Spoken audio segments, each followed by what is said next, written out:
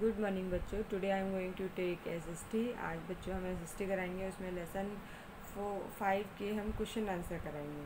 चलिए स्टार्ट करते हैं। What is the plateau plateau क्या है? इसका सही आंसर हमारा plateau is the flat land raised above the surrounding area वो हिस्सा जो उभरा हुआ होता है और आप कह सकते हो, वो आपका प्लेट्यू कहलाता है। एंड क्वेश्चन नंबर टू है where are southern plateau located in India and what are its two division आपको बताना है, इसके सही answer the southern plateau are surrounded by hills Narmada divide the plateau into two part the central highland and the Deccan plateau okay third question है which regions come under the central highland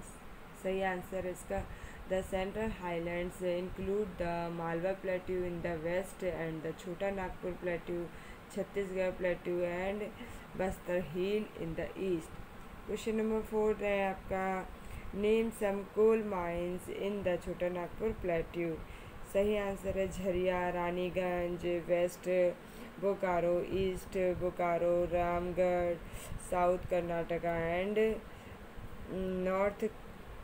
Karanpura are the main coal mines ठीक है? उसके बाद है आपका fifth question what makes the Chota Nagpur plateau so important for us forest product such as tussar silk lac and are economically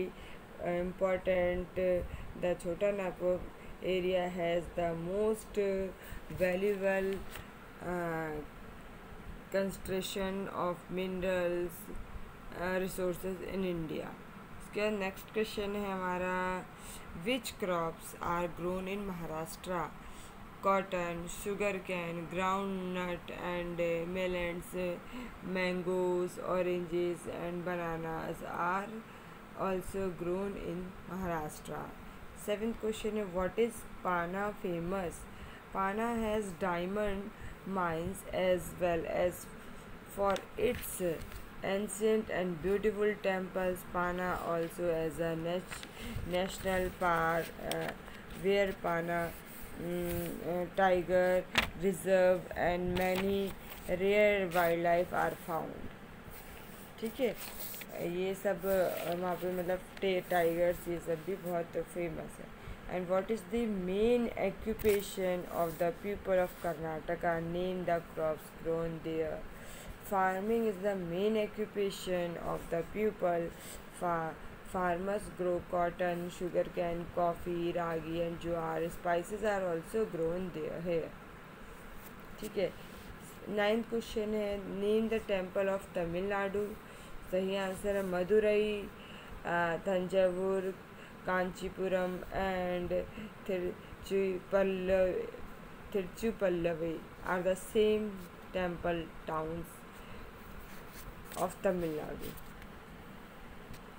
some temple town आप कह सकते हो ऑफ़